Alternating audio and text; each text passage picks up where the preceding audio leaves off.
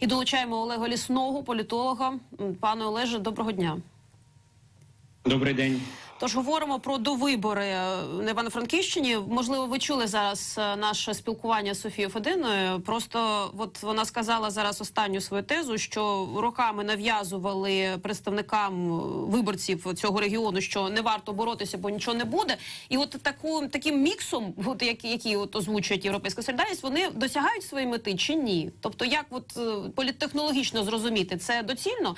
Бо Ну, знаєте, якщо враховувати е, масштабність європейської солідарність в порівнянні з свободою і е, медійність Марусі Звіробії в порівнянні без жодних претензій, я маю на увазі по факту, да, з Русланом Кошулинським, то чому ставка саме така робиться?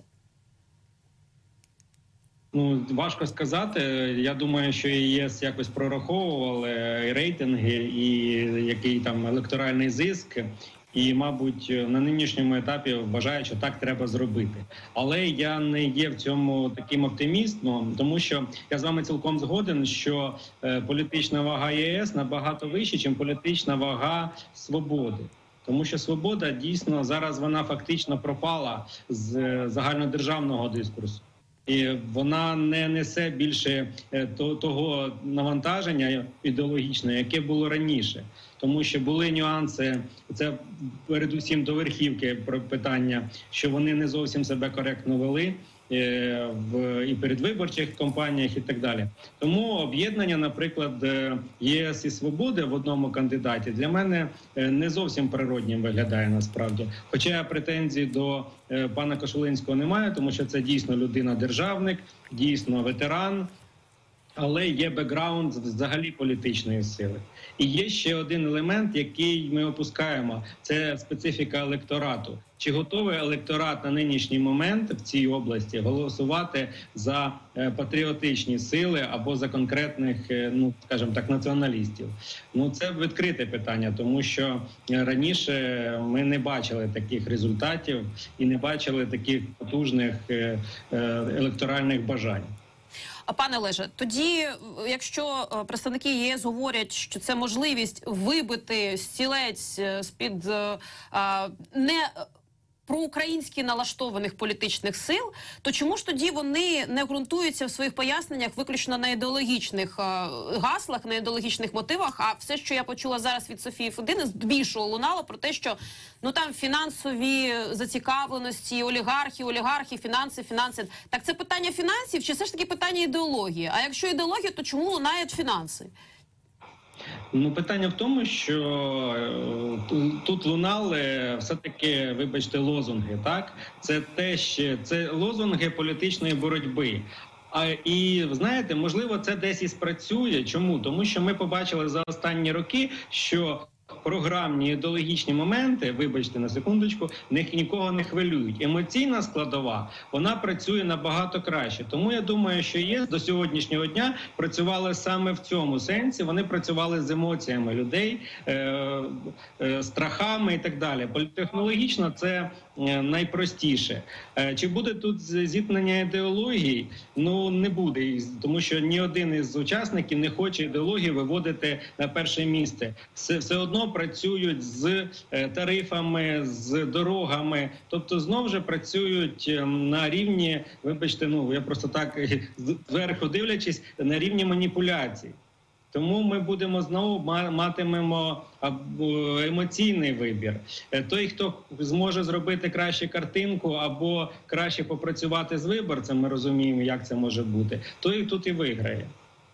Пане Олеже, а тоді чи не вийде так, що знову ж таки некомпетентність, як виявляється, деяких партій, так їхній політичний підхід, ну в даному випадку, коли ЄС передає повноваження свободі, так. е, То чи не зіграє це на бонус тих, хто займає монобільшість нині в парламенті? Якщо вже так знаєте, аби по-чесному пройтися по всіх точках навколо цього питання, чи зірве тут першість монобільшість в даному випадку? Отримають ще плюс одного кандидата? Із-за некомпетентності Ну, саме політичних розрахунків і ходів тих, хто брали участь у цих перегонах донині. Ну, ми якщо зараз ми говоримо про монобільшість того е, початку чи нинішню, я думаю, що зараз більше успіхів все таки буде у, у е, як кажуть, умовно ставленика олігархів. Тому що дійсно це ну давайте будемо відвертими. Тут прикормлений, е, який, ну вибачте за сленг, е, регіон, і тут шансів набагато більше, тому що зараз дуже складно жити, і зараз, вибачте, знову ж таки нема запиту на ідеологію, на якогось лідера і так далі. Якщо воно і буде, то ми побачимо в відсотках. Можливо, я дуже хочу помилятися, що ці ці довибори покажуть, що я не правий і що ідеологія стоїть на першому місці. Але мені чомусь здається, цинічно здається, що знову переможуть е, ці технології, які завжди допомагали перемагати е, в цьому е, окрузі. А вони допомагають, бо політичні сили, які беруть в них участь, вони усвідомлено роблять такі кроки. Чи це, скажімо так, передвиборча технологія, від якої просто Україна не сходить від початку незалежності? Не відходить. Ну, дивіться, дуже просто. Якщо щось працює, туди лізти не треба, як кажуть е, електрики і е, ті, хто ремонтують автомобілі. Тому, якщо це працює, воно ефективно, то політична сила, яка вигравала або політик, вона буде використовуватися. Тому що, наприклад, переходити на поле опонентів, е, хоча там теж немає ідеології, на жаль, і боротися на якомусь сакральному рівні. Ну, це скоріше за все програти. А якщо спуститися до е, базових потреб людей і з ними попрацювати, то буде результат. Ну, вибачте, цинічно, але це, це правда. Нині, так буде ефективніше, як показують майже всі довибори. Ну і по факту, на вашу думку, я вже у Софії Федини питала: один плюс один це вже потужна сила в парламенті. Я маю на увазі е, представницю від свободи. І от якщо пройде дійсно кандидат е, другий, це, це щось ну якийсь вплив буде мати чи ні? Ну, знаєте, один до одного це два, е, і два це ну майже сила. Але якщо просто е, ну у опонентів десятки, ну це героїчна двійка буде, але я не впевнений, що вона буде, на жаль. Так тоді знаєте, в мене запитання. Я розумію, що вони е, один з одним, я маю на увазі європейська солідарність і слуги народу, хоча іноді і голосують. Але по факту, ну трішечки говорять, що в них різна я не знаю, ідеологія, ну можливо, в якихось там а, напрямках. А тим менше з тим. Чого ж тоді не Верестюк, наприклад, враховуючи ну його вагомість в цьому регіоні, також він також достатньо патріотична людина. От чому така запекла боротьба саме не пустити представника за майбутнє? А от е, Ну це важко сказати, але ну тому що він потужний насправді. І опонентів виставляють, в принципі, ну знаєте, навіть не дивлячись на велику вагу фізичну і навіть медійність, все-таки будуть перемагати технології. І чи стоїть за Верестюком, наприклад, технологія, я не впевнений. Тому тут, е, тут я знаєте, я за цих кого назвали, але розумію десь всередині, що тут спрацює те, що завжди працювало. Дуже хотілося помилятися, але я думаю, що я правий.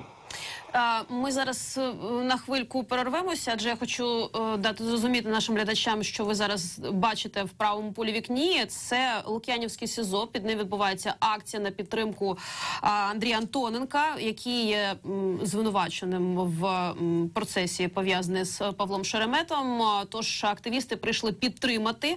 Ну а ми стежимо. Там працюють наразі наші журналісти. Будемо включатися, якщо будуть лунати певні заяви. Пане Олеже. Ну Так. і тоді, щоб е, зробити певний підсумок, ну от відбудуться до вибори тут.